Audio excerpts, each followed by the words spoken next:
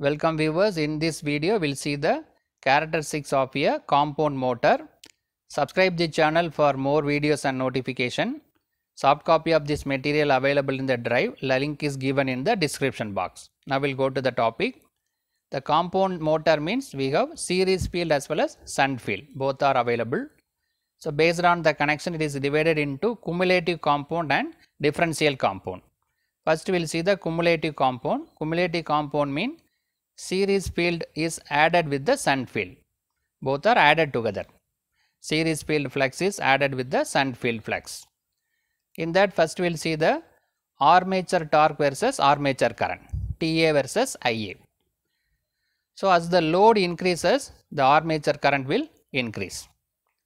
So that the series field current also increases because all are connected in series and flux in the series field winding also increases.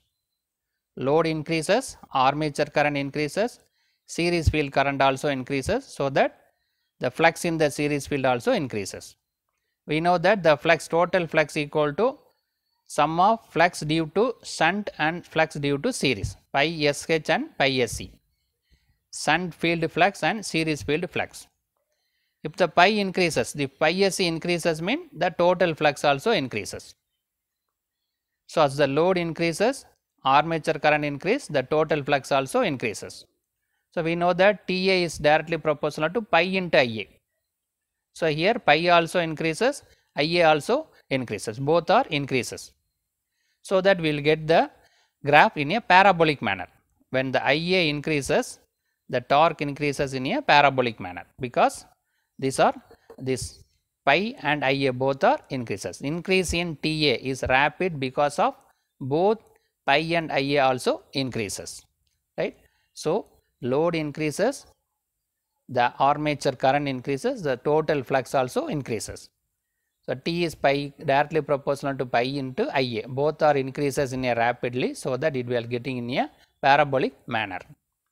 Now, we will go to the second characteristics, speed versus armature current. N, in, N versus IA. We know that relation N is directly proportional to EB by pi.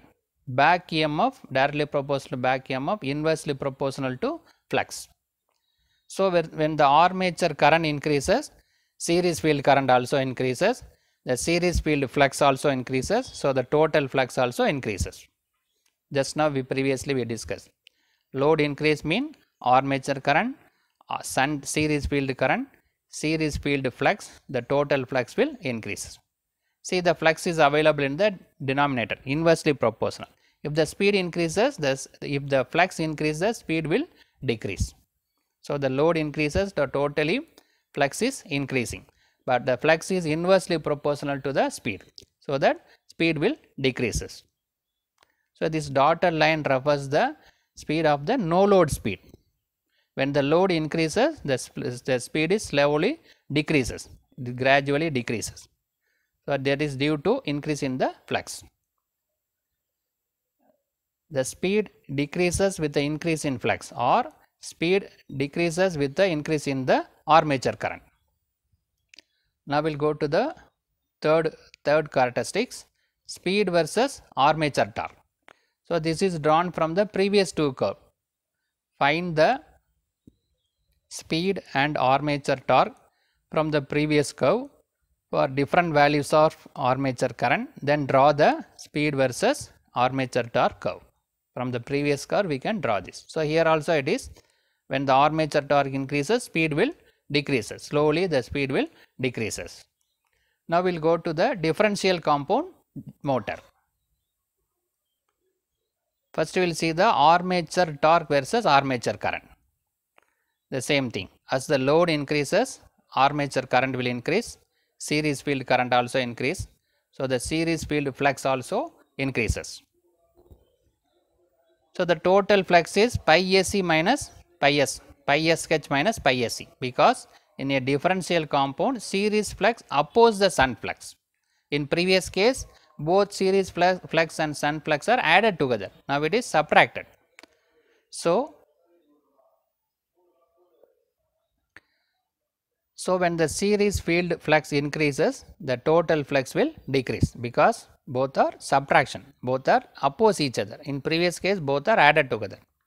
So, when the load increases, armature current will increase, but the flux will decrease. We know that relation T is directly proportional to pi into Ia, right. So, here Ia is increasing and pi is decreasing, but increasing in Ia is more than the decreasing in pi. So, that it is compensated. So, the TA is increasing slowly. In previous case, it is increasing in a rapid manner, but here one, one parameter IA is increasing, but another parameter pi is decreasing. But the decreasing is very less than the increasing of armature current. So, that still the armature torque will increases, slowly it will increases, right. So, when the armature current increases, the armature torque also increases. Now, we will go to the speed versus armature current.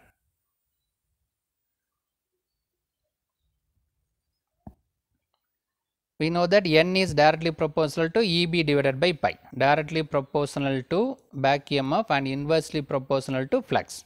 The same thing, as the load increases, armature current will increase, series field current will increase, so that series field flux also increases.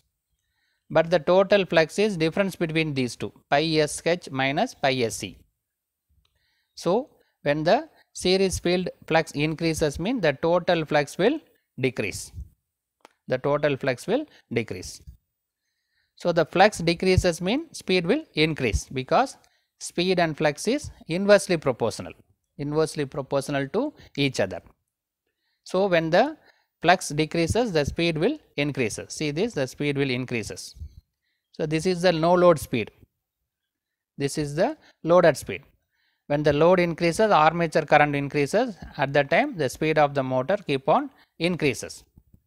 So, this is decreasing in the previous case cumulative compound motor the speed is decreases, but here the speed is increasing. So, that is due to both are in inversely proportional speed and flux are inversely proportional. Now, we will go to the third characteristic speed versus armature torque N versus TA. So, this is drawn from the previous two curve by finding the different values speed and armature torque. For the different value of armature current we can draw the graph between speed and armature torque. So, this is almost same as previous case. When the torque increases the speed also increases. This dotted line is the no load no load speed. When the loaded in, when the load increases the speed also keep on increases. So, in this video we discuss about the characteristics of a compound gen, compound motor. There are two types available cumulative compound and differential compound. Cumulative compound mean fluxes are added together, differential compound mean fluxes are oppose each other. Subscribe this channel for more videos and notification. The soft copy of this material available in the drive. The link is given in the description box. Thank you for listening.